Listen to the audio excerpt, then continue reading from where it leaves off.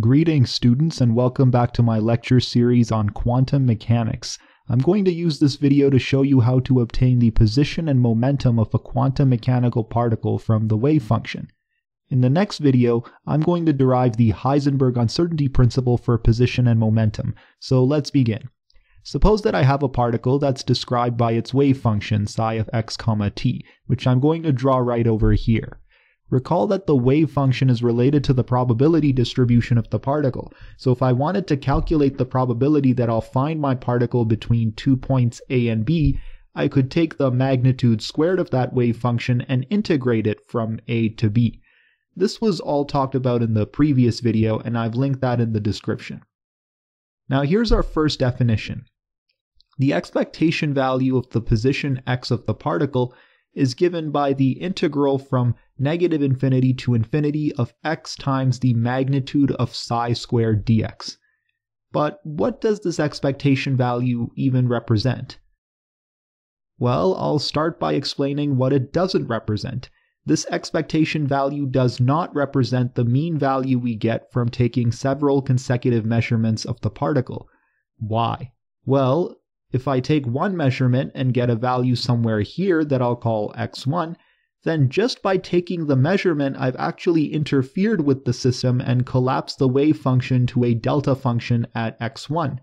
This phenomenon is called wave function collapse. So if I take repeated consecutive measurements of the position, I'll keep getting x1. And if I take the average of all those consecutive measurements, I'll still get x1 which may not necessarily be equal to the expectation value defined in this equation.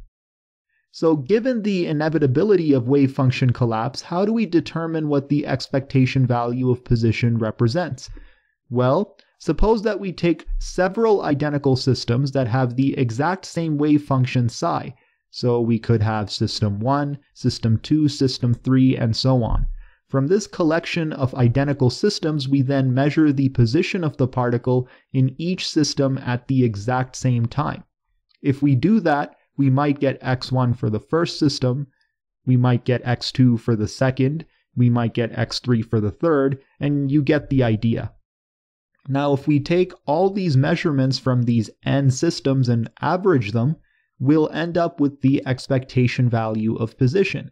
And this is what the expectation value of position represents. It represents a mean value of position found from taking single measurements of an infinite collection of identical particles or wave functions or systems. We could also find the expectation value by taking repeated measurements on only one system, but instead of taking repeated measurements while the wave function is collapsed, we could return the system to its original wave function between each measurement and then average a whole bunch of those measurements. It's functionally the same idea as taking measurements of an infinite collection of identical particles. So now that I've explained the meaning of the expectation value of x, let's now talk about the expectation value of p, or the momentum of the particle. Interestingly enough, we can actually derive this from the expectation value of x, so let's go over it. Let's start by taking the time derivative of the expectation value of x using equation 1. I can go ahead and move the derivative inside the integral where it becomes a partial derivative. And since this small x here is just a scalar and doesn't actually represent the particle position, it doesn't depend on time, so I can take it out of the derivative expression as a constant. I'm going to now change the psi squared term to a psi conjugate times psi.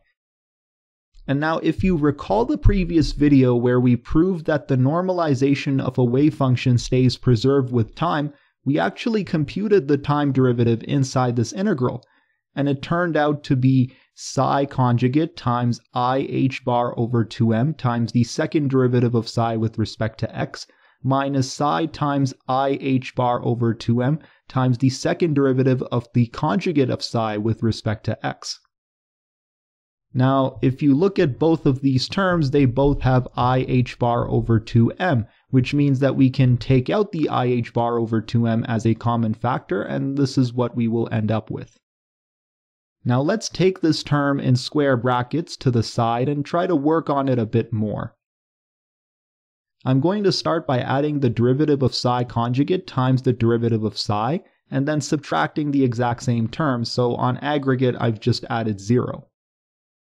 Let's now go ahead and rearrange the order of these terms, and once we do that, notice that the first two terms look like the derivative of the product of psi conjugate and d psi dx, while the second two terms look like the derivative of the product of psi and d psi conjugate dx.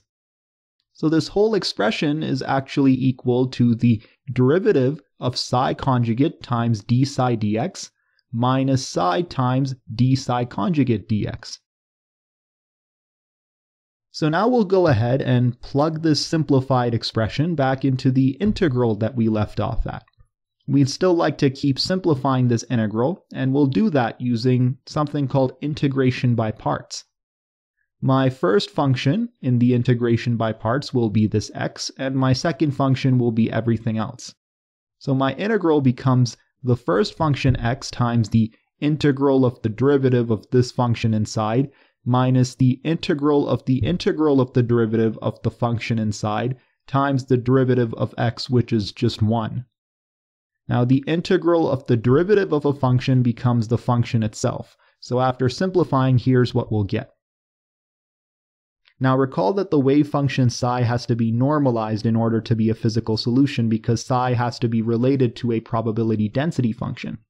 And because psi has to be normalized, the integral of its magnitude squared from negative infinity to infinity has to be equal to 1. And because this integral is finite, both psi and its conjugate must approach zero at negative infinity and positive infinity. So as a result, this first boundary term cancels because it contains psi and psi conjugate, which means that we're left with something more simple. We're not done yet. Let's do a very quick integration by parts on just the second term, using the psi conjugate expression as the second function and the psi as the first function.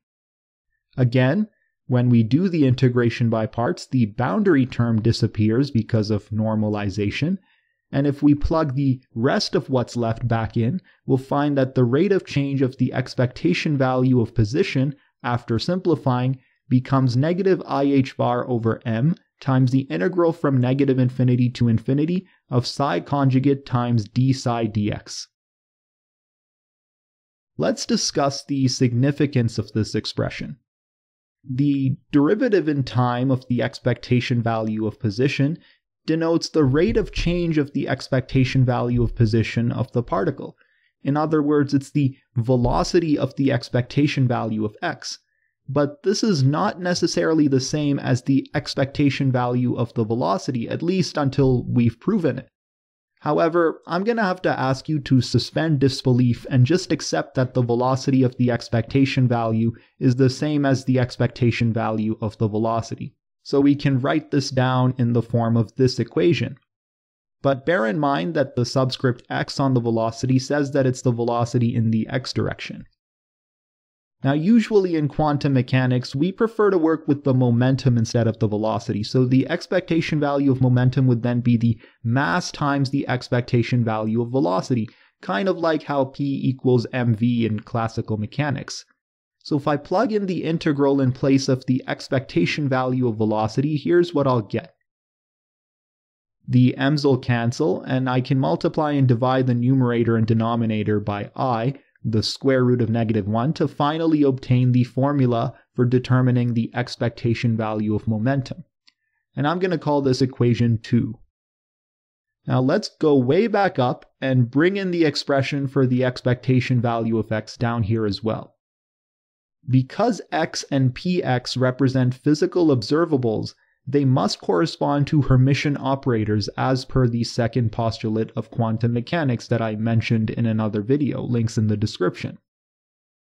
Because x and px are operators, their expectation values with respect to a state vector or wave function psi are given by the following formulas for operator expectation values that we also covered in a previous video.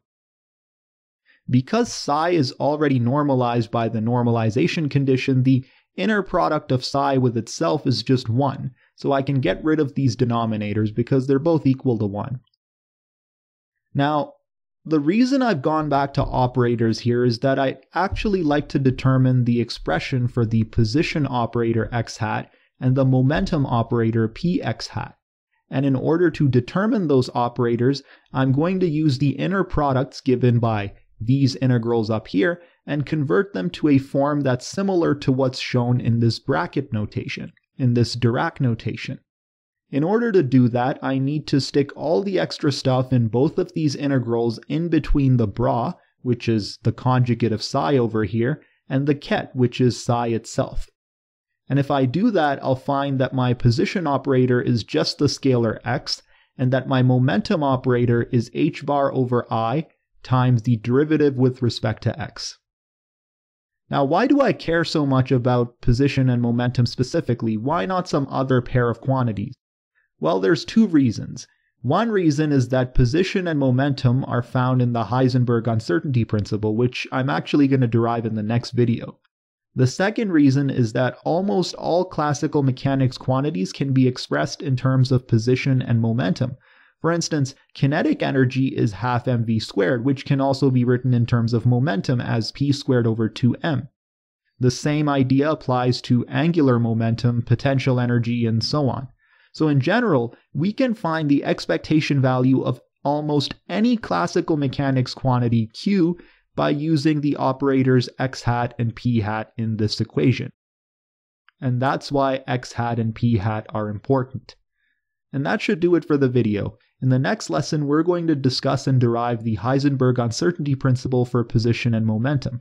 I'll finish off by thanking the following patrons for supporting me at the $5 level or higher.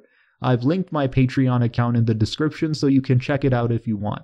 So that's it. If you enjoyed the video, feel free to like and subscribe. This is the Faculty of Khan, signing out.